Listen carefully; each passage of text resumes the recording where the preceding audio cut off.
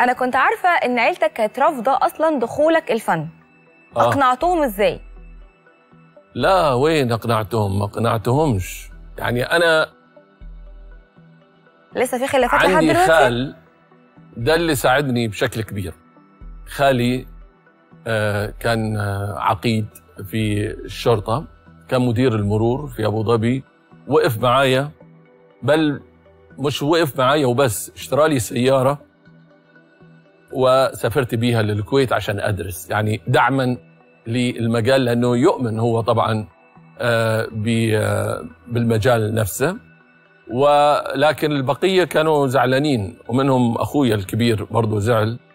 ولكن أنا أتصور أنه مع الأيام وبالذات لما تخرجت بعد أربع سنين من الكويت لأن في ذاك الوقت يعني في الثمانينات لما يسمعوا معهد بيحسبوا أنه المعهد ده اللي هو المعهد ال- العادي اللي هو أبو سنتين آه، كنت بقنعهم أنه لا دي جامعة فما كانوش متأكدين من الموضوع ده. لكن بعد ما تخرجت وكتبوا إنه ابن الإمارات يحقق المركز الأول في الكويت وما أعرفش إيه وكذا آه ولما رجعت آه واشتغلت على طول براتب خريج جامعة هنا شوية هديت النفوس ولله الحمد.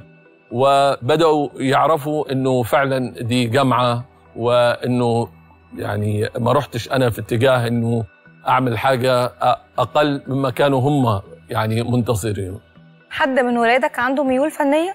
والله خالد ابني آه، حاول آه، في فترة وهو بيدرس وعمل في مرة من المرات دوري وأنا صغير في آه، مسلسل لكن خدوا الجانب ال- ال- الأكاديمي وتخصص في الكهرباء وال والإلكترونيات وبقى أستاذ في الجامعة اللي هو درس فيها.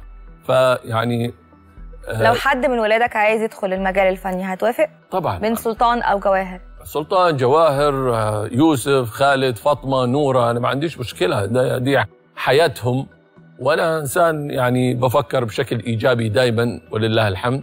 فما عنديش إذا هم هذا اختيارهم لأنه الفن آه، رسالة وإحنا مؤمنين فيها وأنا متجوز فنانة فده بيؤكد إيماني بهذا الدور وإنه أي حد سواء مراتي أو حد من أولادي أو بناتي عايز يخش الفن يخش. المهم إنه هو إزاي يحافظ على نفسه سواء ولد أو بنت وفي نفس الوقت يكون مؤمن بالدور هذا لأنه إحنا محتاجين للجيل الجيل اللي موجود دلوقتي يؤمن بهذا الدور. يعني مش إني أنا داخل الفن بس عشان أبقى مشهور وعشان أعمل فلوس و و و إلى آخره. لا الموضوع موضوع آه، اجتماعي أخلاقي قبل ما يكون هو نجومية وفلوس.